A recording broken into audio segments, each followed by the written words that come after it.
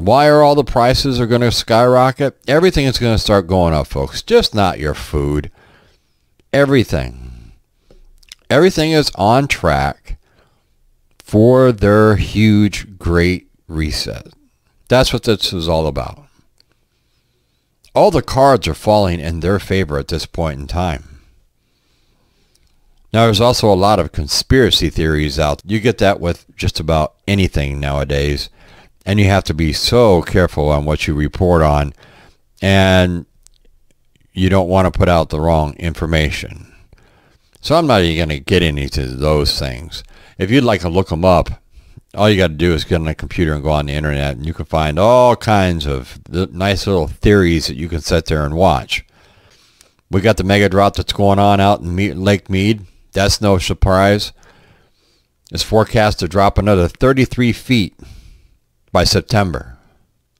It's getting to the point where this thing is going to be cut off.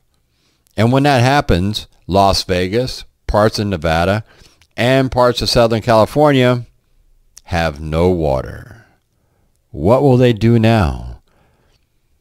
They're all complaining right now because they can't water the lawns or wash their cars or doing this kind of stuff because they're under water restrictions. Well, what do you expect, folks? Look where you live. Your water source is drying up. So what are you supposed to do? You have to come up with some type of a plan here. They need to try to figure out something.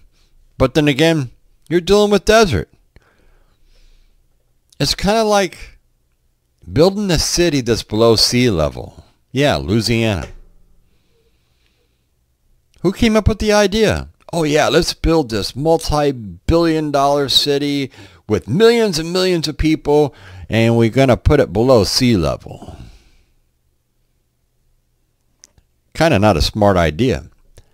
But these are all the things that are going to start really increasing our prices on all our different goods. It's going to affect everything. It's going to affect the way things are moved. It's going to affect trains. It's going to affect the trucks.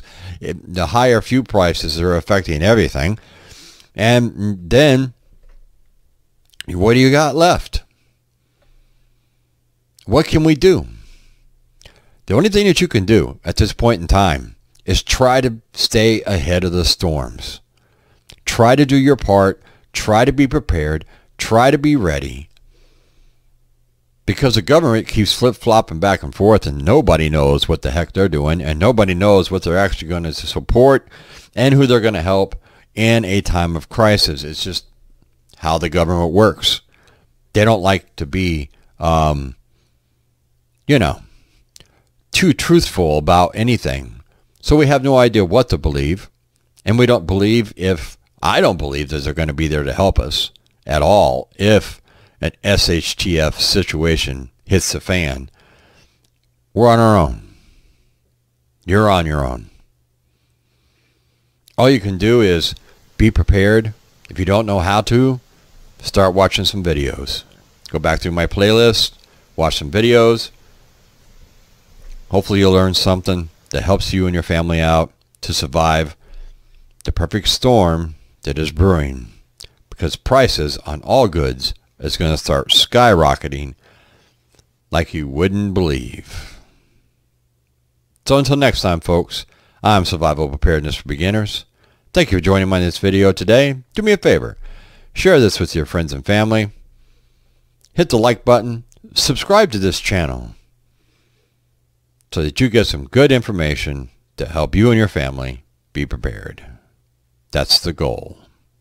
Till next time, I will catch you all on the flip side.